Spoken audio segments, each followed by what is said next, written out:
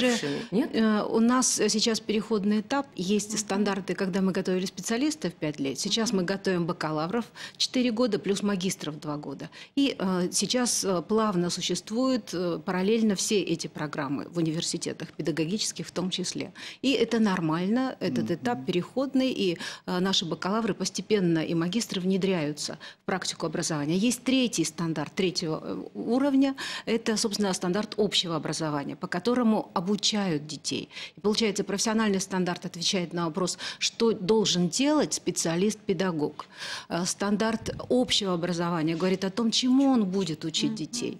А стандарт э, образования высшего говорит, как подготовить этого суперпрофессионала, вот этого самого вашего солдата. четыре года? Э, Нет. Это миф какой-то, который почему-то муссируется именно СМИ, потому что в концепции говорится все четко. Четыре года – это бакалавр. Причем может быть прикладной бакалавр, может быть академический. Что значит прикладной? Очень много практики, достаточно теории, но очень много практики. Академический бакалавр, когда ну, пополам теория и практика, но тем не менее практика на первом плане.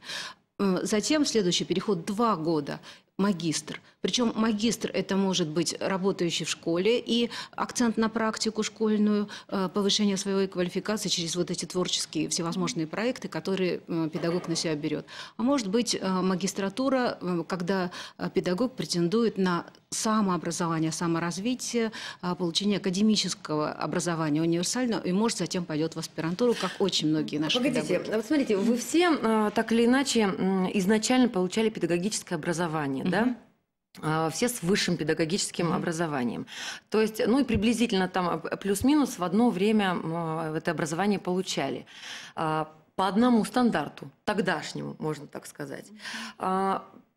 В чем, я не знаю, в чем его недостатки, например, этого образования? Почему возникла необходимость менять вот эту систему 4 плюс 2? И будет ли эта система лучше? И не кажется ли вам, я сейчас так вот не пытаюсь дать ответ на этот вопрос, да, а вот э, по, по моему субъективному исключительно мнению, что сначала, вот мы все помним вот этот мучительный переход э, от выпускных экзаменов э, к ЕГЭ, а потом поняли, что как-то вот какие-то недочеты есть, успеваемость снизилась, э, уровень, возможно, образованности на выходе из средней школы у учеников упал, и поэтому решили поменять, условно говоря, с другой стороны. Потому что тут как-то вот уже неэтично лезть, уже же поменяли, вроде отработали, опять это все ковырять не хочется, и поэтому полезли со стороны педагогов. Нет, не возникает такое ощущение?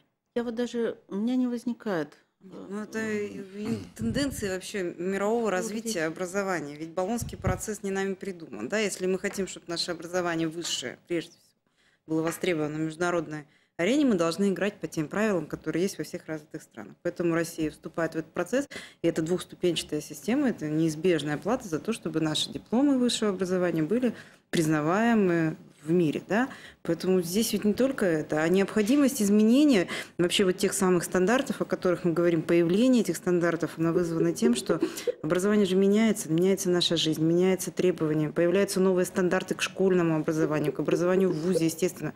И понятно, что учитель должен обладать новыми компетентностными подходами. Именно они заложены в основу новых стандартов профессиональных и учебных, естественно.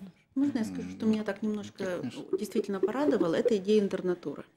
Я в свое время была на стажировке за границей, и у них интересная форма работы. Это помощник учителя, где учащиеся э, второго курса, третьего курса не просто проходят практику, а прикрепляются к сильным учителям и работают помощником учителя течение, там, например, Ну, то есть трех-четырех то есть, бросили как котенка в класс. Ну, на самом деле, вот сопровождение. да, да, да. Институт происходит. наставничества, он был всегда в советской Всегда школе, был. понимаете? Это же тоже наши И культурные как традиции. подмастерье. И, и реб- э, студент приходит в школу, и в течение трех-четырех месяцев он работает с учителем. Он не просто выдал, пришел уроки. Тогда все вопросы снимаются. Почему вот вопрос зарплаты, я позволю себе вернуться, но мало кто знает, что в школе у нас можно сейчас заработать, давайте скажем, и 60 тысяч, и 70 тысяч учителя зарабатывают. И э, бывают премиальные Вообще мало фонды. кто знает. Вообще мало, потому что мифов много, Мифов очень много. И когда говорят, вот про СМИ вы сказали, у нас Да-да-да. такое-то создается вопрос СМИ, что учитель, образ учителя. Меня когда интервью брали, я говорю, не надо делать из учителя образ несчастного человека. У нас сейчас учитель, который зарабатывает, который имеет возможность заработать деньги. У нас приняли закон об автономии, приняли законы о платных услугах. То есть учитель успешный – это не неудачник, который… Вот идея самая главная, может быть, какая-то, это показать, что учитель, он не есть неудачник, он успешный человек в нашем Мгм. обществе. И еще очень важно, что меня поразило, может быть, и заинтересовало в, в профессиональном стандарте, это гуманизация, этика педагога. Например, в этой же этике педагога сказано, что то, что говорит ребенок учителю, учитель не имеет права никому больше рассказывать. Кроме тех случаев, когда это касается каких-то действительно преступных против... Это ведь идея гуманизации. На, это- на Как у этом священника. как у практически. священника получается. То есть Тайная поднима- исповедь буквально. конечно, поднимается роль учителя. А когда, и когда мы поднимем эту роль и студентам покажем, посмотрите. Ну, то есть и степень доверия учеников к степень учителю, она доверия, повысится да, в разы. Да, да. Мгм. Вот может быть вот этот большой плюс, когда интернатура, когда они не просто приходят как гос- гостями, а когда они живут в школе, и может быть они тогда и придут все-таки Но я надеюсь, что в школе все-таки жить они не будут. Я предлагаю прерваться буквально на полторы минуты. Э, Мы подготовили опрос. Горожане, то есть такая точка зрения извне, не изнутри, из школы, Мгм. а извне. От родителей, от людей, которых дети учатся в школе или учились, э, чему стоило бы или нужно учить наших учителей. Давайте посмотрим. Здравствуйте. Каждый день корреспонденты ИТВ проводят опрос у терки. Отдавая ребенка в школу, хотелось бы, чтобы с ним занимался настоящий профессионал. Вот только не все учителя соответствуют требованиям родителей. Чего именно им не хватает, сегодня выясним у наших горожан. как-то заинтересовывать как бы в учебный процесс. То есть как бы не какие-то консервативные методы использовать, а больше инноваций. То есть, ну, я не знаю, каких-то презентаций интересных, примеров приводить. более тесном взаимодействовать с высокими технологиями. То есть вот эти все айфоны, все эти айпады, планшеты, вот если бы они овладели немножко вот этими высокими технологиями и преподавали их детям, ну, преподавали бы с использованием их, было бы намного лучше, я считаю. не хватает э, э, той закалки, которую давали педагогам, когда их готовили в советское время. А именно отношения больше даже не в сторону плоскости денег, а в сторону человеколюбия. Воспитательная часть профессии, она сейчас очень э, страдает. Э, то есть э, педагог должен не, то, не только давать какие-то знания, но и воспитывать будущее, будущее поколение. То есть с, маленького возраста уже закладывать какие-то качества, которые должен человек проявлять, когда уже станет взрослым. А сейчас, наверное, учителя не так замотивированы, как в прошлом. Поэтому, соответственная картина. Больше свободного времени, чтобы они могли много читать. Им же некогда. Да, но вот это то, что считают э, горожане, как я уже сказала, это такой некий взгляд извне. У нас есть, кстати, телефонный звонок нам в прямой эфир. Алло, добрый вечер. Алло, здравствуйте. Здравствуйте. Меня зовут Светлана. Я хотела уточнить просто дошкольном образовании, как бы в учи- ой, дошкольном учреждении, в школьных учреждениях очень часто собираются деньги на какие-то нужды, на ремонты, на учебники. То есть это как вроде школьное образование у нас бесплатное.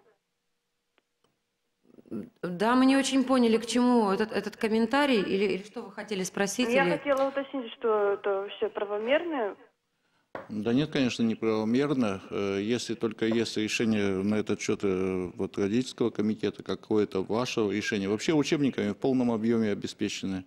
Э, Что касается дошкольных учреждений, здесь вообще ни о каких учебниках речь не идет. Нет, ну когда каждый год школу начинается 1 сентября, перед 1 сентябрем всегда говорят, что нужно сдать определенную сумму денег или купить такие-то учебники. Можно я тоже дополню, Мгм. раз уже вопрос такой зашел? Ну, во-первых, действительно, учебниками школы обеспечиваются сейчас в полном объеме. Может быть, речь идет о рабочих тетрадях, которые далеко не всегда, не каждому ребенку положены, да, и они, естественно, не всегда входят в комплект с учебником. И поэтому такие рабочие тетради, конечно, каждый родитель должен приобретать самостоятельно. А учебники школа, естественно, приобретает за счет бюджета. Что касается сборов на ремонты, различные какие-то другие пожелания, хоть со стороны школы, хоть со стороны родителей, они, естественно, осуществляются только в добровольном порядке. И если родители выражают свое желание и со школой эта позиция согласована, то тогда только с согласия родителей возможен какой-то сбор средств.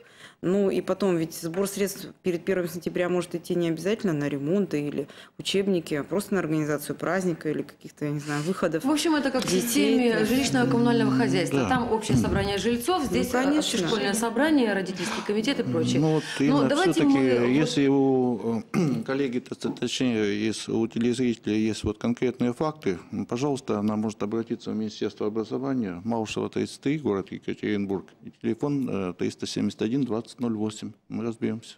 Но я предлагаю сейчас на эту тему не отвлекаться, потому что это отдельная большая тоже тема, а поднять ее а, просто в другой программе отдельно и а, не исключено, что с другими э, специалистами, не с педагогами, которые, собственно говоря, этим не занимаются. У нас на связи в скайпе, кстати, Андрей Демидов, сопредседатель межрегиональной профсоюзной организации «Учитель». Это город Москва. Здравствуйте. Слышите нас?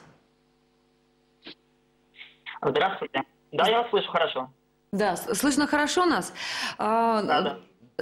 Да, у меня вопрос к вам очень простой. Э, На самом деле, насколько, не знаю, активно идут, скажем, Алло. обсуждения в Москве вот этой инициативы Министерства образования об изменениях, а, о переучивании педагогов, о новой системе обучения педагогов?